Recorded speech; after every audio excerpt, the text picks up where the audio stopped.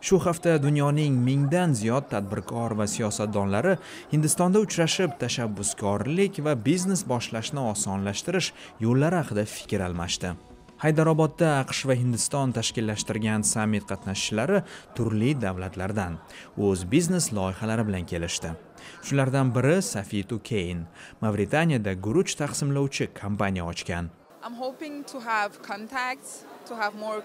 Kuchli tadbirkor ayollar bilan tanishaman aloqa o'rnataman ulardan o'rganaman deb keldim. Yangi bilim bilan vatanga qaytaman deydi u. Bu yilgi anjuman mavzusi ayollar va tadbirkorlik. Bir yarim ming ishtirokchidan yarmidan ko'pi ayollar. Afg'oniston va saudiya arabistonidan ham delegatsiyalar kelishdi aqsh prezidentining maxsus maslahatchisi ivanka tramp hamda hindiston bosh vaziri narendra modi sammitda so'zga chiqdi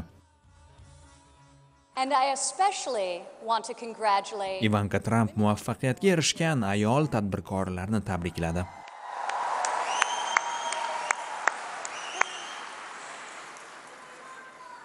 Thank you. Ayollarga e'tibor jamiyatni farovon qiladi deydi tramp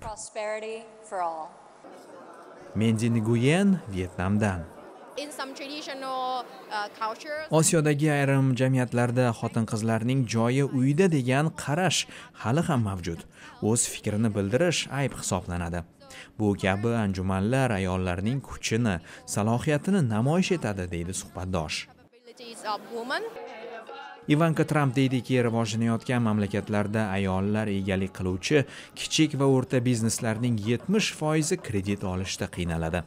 Bir tadqiqotga ko'ra erkak va ayollarni teng imkoniyatlar bilan ta'minlash jahon yalpi ichki mahsulotini 2 foizga oshirishi mumkin. Shohruh hamro amerika ovozi uchun.